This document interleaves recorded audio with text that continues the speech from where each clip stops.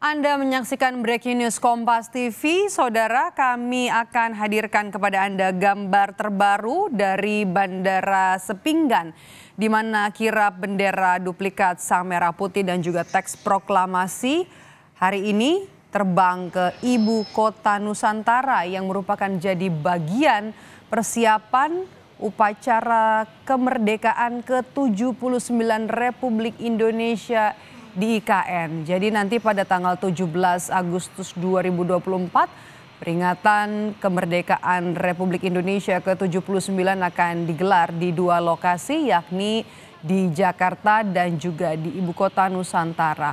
Kirap uh, duplikat merah putih dan juga teks proklamasi ini memang tadi sudah uh, digelar pagi hari tadi dan juga sudah diterbangkan ke ibu kota Nusantara di Kalimantan Timur. Ini adalah gambar terbaru dari pesawat TNI Angkatan Udara yang membawa uh, rombongan dan juga kirap bendera sang merah putih dan juga teks proklamasi ke ibu kota Nusantara. Kita masih menantikan tibanya dari duplikat bendera sang merah putih yang tiba di Bandara Sepinggan.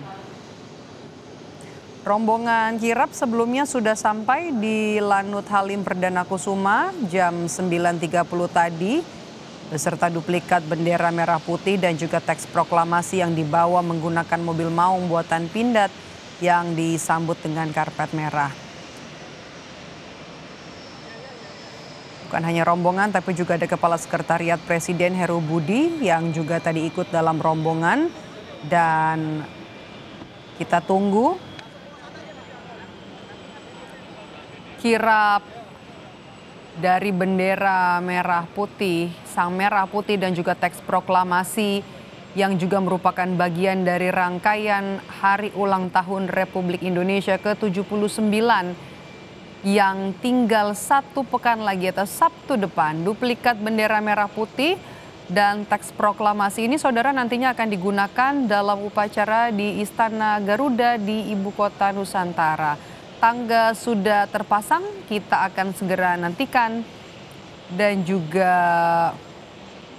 persiapan jelang penyambutan kirap bendera sang merah putih dan juga teks proklamasi ini tampak kita bisa sama-sama lihat di layar. Nantinya saudara, duplikat bendera merah putih dan juga teks proklamasi akan digunakan dalam upacara di Istana Garuda di Ibu Kota Nusantara. Ini adalah rangkaian dari prosesi persiapan ulang tahun kemerdekaan Republik Indonesia ke-79.